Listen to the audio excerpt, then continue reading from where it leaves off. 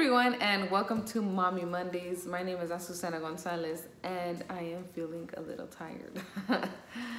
Ooh, this getting used to not having any caffeine is quite uh, interesting, but it's all worth it. So yeah, we're how many days in? Wednesday, Thursday, Friday, Saturday, Sunday, Monday, sixth day. Today's the sixth day. And yeah, so we shall see how it goes. So that means we have about 35 days left, I think. I don't know. We still got some time left.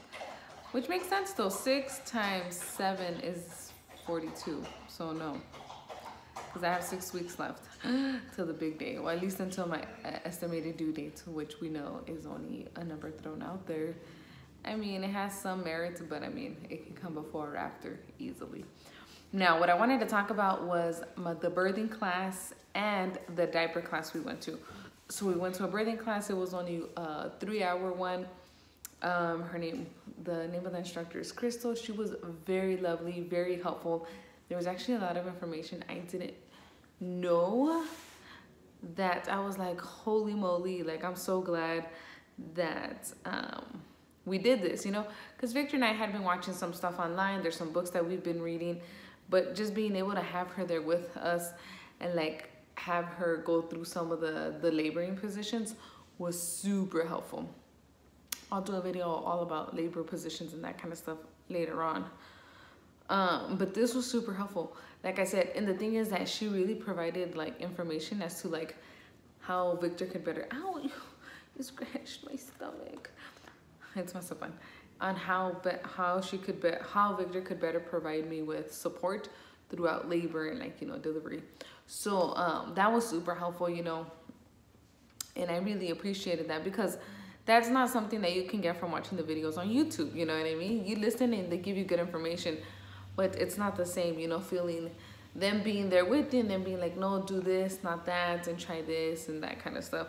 So that was super helpful. She's also a doula, so she um so she's been there with other women, supporting them and that kind of stuff. So that was super helpful as well because I know that she's been in it, right? She she has five children, so she's had the experience, right? But also the experience of assisting other women, right? Anyway, super helpful. The one thing that I was most impacted by was the fact that um um, the fact that when you breastfeed, you can, you are very likely to still feel contractions and then obviously some pain that is associated with breastfeeding especially during the first couple weeks um, due to the nipple becoming very sensitive and raw because you know it's going through something new aka feeding a baby. Now not all women experience it but yeah it's definitely a possibility and one that one to always keep in mind you know what i mean? It's not always a walk through the park. Ooh, so yeah, that that'll be interesting, especially because you know, as I've already told you, I've experienced some burning on my nipples. Um, I spoke to my doctor about that. She said that it sounds like I'm experiencing um, the the symptom sounds like it's similar to letdown, which is when your milk is ready to come out, right?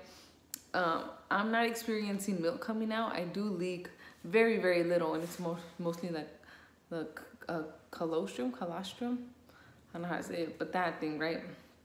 And the thing is that my body's just preparing itself, you know, doing what it needs to do, doing some test runs. so yeah, um, so that was super interesting. We also talked about tigers and fairies. Basically, tigers are what are worst case scenarios and how to find the silver lining in those events and how to make them a little bit better, right? Because we want to make sure that we still have a nice experience, even if things don't go to plan. Also, fairies are um, just things that could happen as a result of birth, like tearing. you know what I'm saying? Like that, I know that that's been a fear of mine. But after we kind of talked about it, I felt a little better. She's like, you could maybe only tear this much. And I was like, you're right.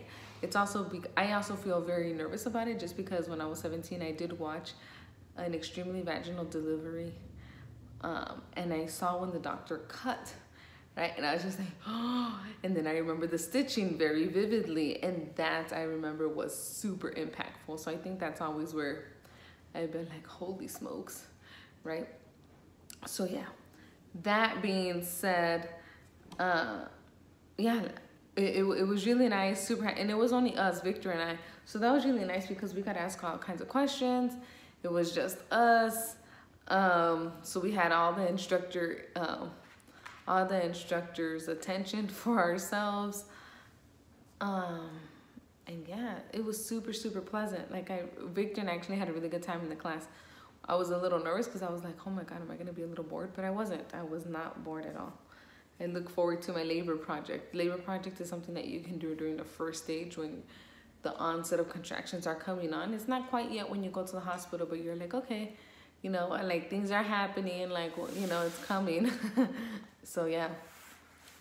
The other thing that we did the same day on Saturday was we went to the diaper class. Now you're probably thinking like a diaper class. Yes, so this is a class for how to use cloth diapers. We went through a, a company called, or we're going through a company called Sun Sprouts. I think that's what it's called, Sun Sprouts. And they're super nice. We got to meet one of the owners. His name's Charles, and, and then his wife, Ileana.